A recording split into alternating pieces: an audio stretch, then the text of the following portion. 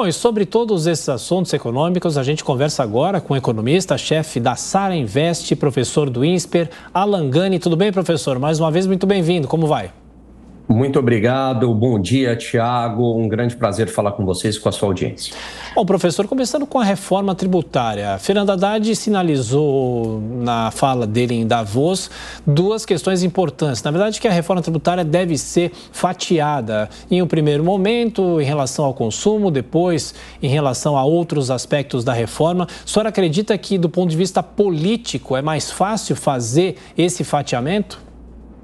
Sim, do ponto de vista político é mais fácil uma reforma tributária uh, nesse, nesse, sentido. Por quê? Porque a reforma tributária ela geralmente esbarra em uma série de interesses. Ela tem sempre dificuldade de avançar no Congresso Nacional, porque cada estado tem uma visão em relação à reforma tributária, é, tem grupos de interesses, empresários que preferem uma uh, tributação de um jeito, outros uma tributação de outro jeito. Então, a partir do momento que você fatia, é, é, mais fácil de passar uma reforma tributária, sim. Agora, é, tem que ver qual reforma tributária que vai prevalecer, né? porque o fato de ser fatiada e facilitar a tramitação não significa que será uma boa reforma tributária.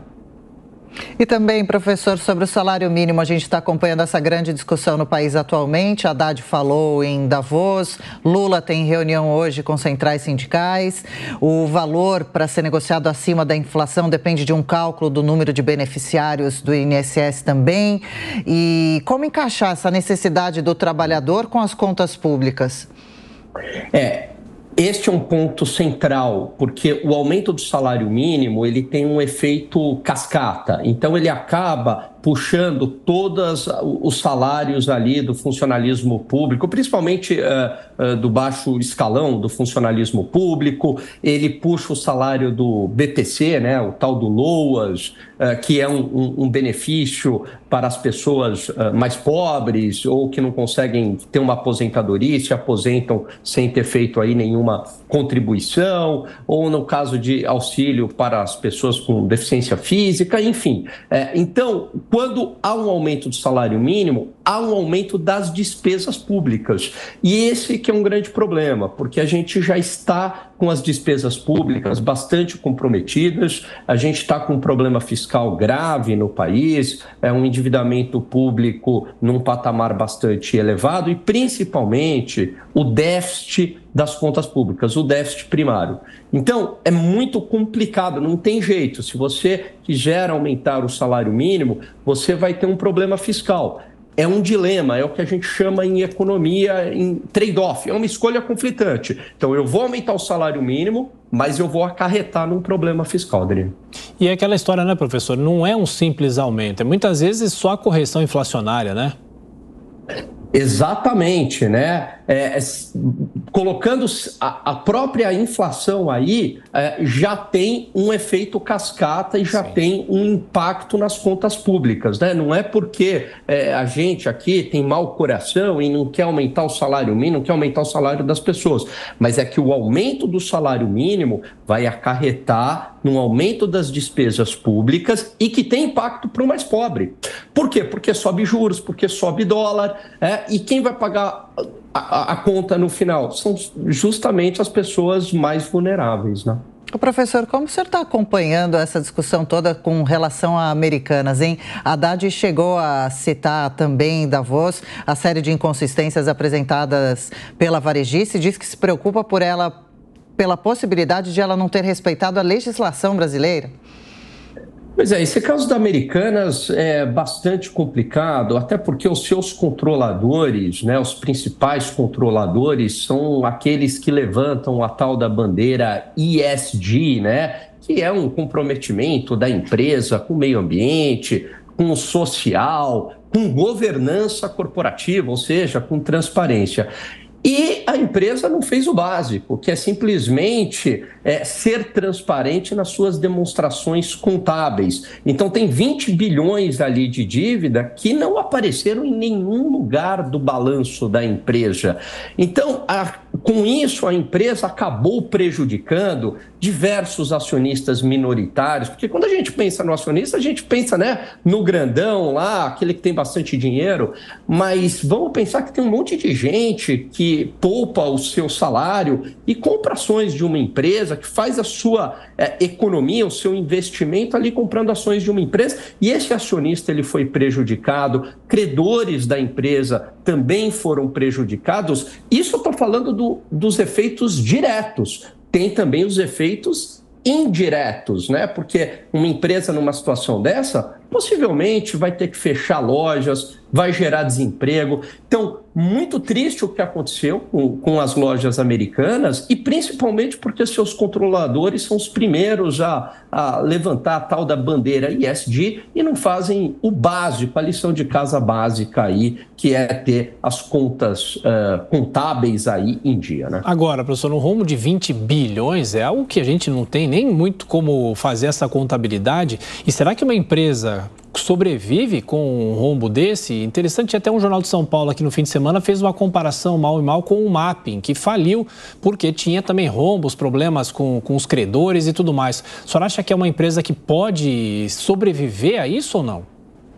Olha, é, poder sempre pode, mas o risco da empresa é, é, grande, né? É claro que a empresa vai tentar é, levantar capital de diversas maneiras, até porque os seus controladores, os seus principais acionistas, têm muito dinheiro, conseguem capitalizar a empresa. Existem operações é, no mercado financeiro, como é, emitir mais ações para tentar dar um fôlego de caixa na empresa, mas é claro que o, o risco é, existe. E veja, 20 bilhões não é pouca coisa, não. É, até porque a dívida da empresa, aquela que já aparecia no balanço, né? O balanço é o, é o raio-x ali, é o exame de saúde da empresa, né? Então tá ali, no, já aparecia o quê? 20 bilhões de dívida. Agora tinham 20 bilhões agora não contabilizados. Com isso, Thiago, a dívida chega a 40 bilhões de reais numa empresa que o valor de mercado até pouco tempo era de 10 bilhões, né? Olha que loucura, né? Então você tem 20 bi que não foi contabilizado numa empresa que valia 10 bi, né?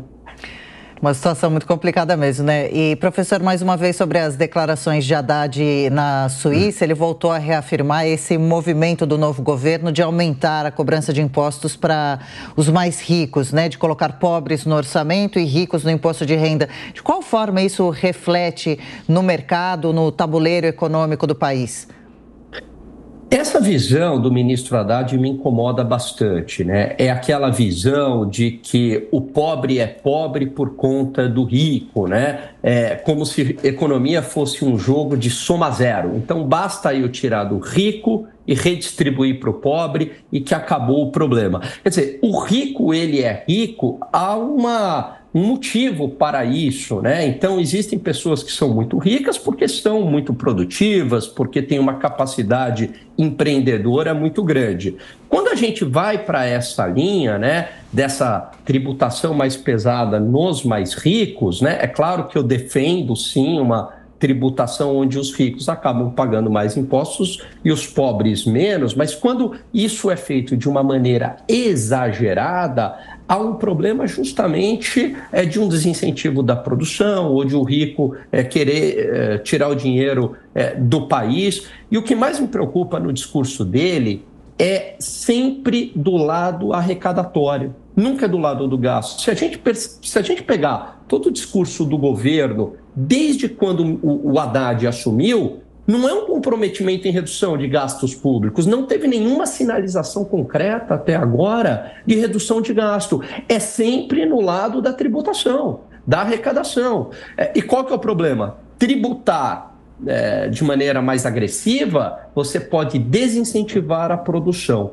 E no médio prazo, gerar uma uh, perda de crescimento econômico, de atividade econômica, caindo a arrecadação. Então está faltando para o governo comprometimento com o gasto público, a redução do gasto público. É isso que está permeando todas as críticas uh, de renomados economistas ao governo federal. E professor, para fechar, a gente fala muito sobre o imposto de renda, a correção da tabela do imposto de renda, que há anos não é feita. O senhor acha que existe espaço para isso ou mais uma vez teremos um início de um novo governo sem essa correção ou sem essa possibilidade de correção que agradaria, claro, sempre muito a classe média, né?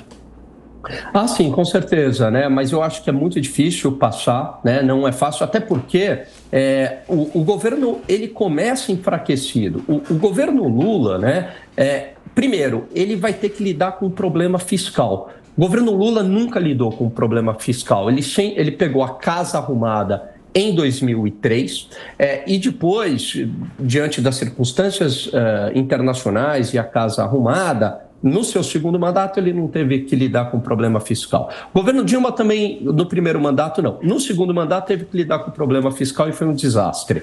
Então, ele vai ter que lidar com o problema fiscal, ele vai ter que lidar agora com uma conjuntura internacional muito mais desfavorável também. Ele não está acostumado é, a, a, isso, né? É, recessão, possibilidade de recessão dos Estados Unidos, menor crescimento econômico da China, Rússia e Ucrânia, né? problemas geopolíticos e uma forte oposição da sociedade civil. Então, é, e essa forte oposição da sociedade civil já num Congresso que foi eleito, né, num Congresso mais à direita, vamos colocar assim, mais liberal. Então, eu não sei aí se realmente ele consegue é, ter força política para passar é, uma, é, uma reforma aí do, do, do, imposto de renda e também nem sei se é tanto de interesse do governo também. Perfeito. Conversamos com o economista-chefe da Sara Invest, professor do INSPER, Alan Gani. Professor, como sempre, muito obrigado pela atenção, obrigado pelas análises aqui na Jovem Pan. Um abraço, bom trabalho. Obrigado, um grande abraço a você e a toda a audiência da Jovem Pan.